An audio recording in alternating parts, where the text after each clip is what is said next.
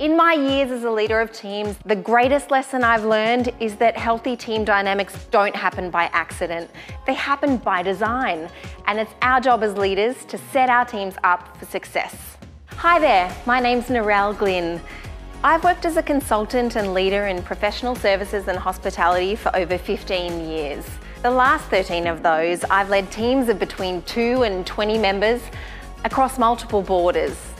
Each team, regardless of size, was set up to bring people with diverse skills and experience together to achieve a common goal. We can all think of great leaders and crappy bosses we've worked with in our careers. The honest truth is that your actions as a leader and how you show up every day for your teams will determine which of those you end up being.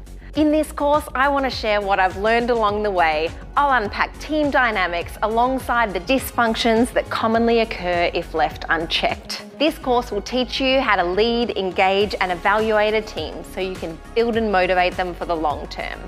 Many of us are our own worst critics and we subconsciously place limits on what we can achieve or let self-doubt get in our way. This course aims to build a foundation of tools and frameworks that you can refer to in your leadership journey so you can lead your teams with confidence. I'm excited to offer you this support so you can be the best leader you can be.